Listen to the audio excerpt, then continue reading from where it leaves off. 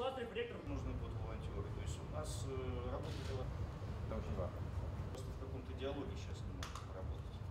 Потом я Выиграли этот конкурс, так что будут деньги для того, чтобы внукам будете показывать фотографии э, вас и поддержку наших волонтерских центров, нашего волонтерского движения и передать вам один раз в жизни, ну, может, два. Это новое как бы, такое испытание для вас.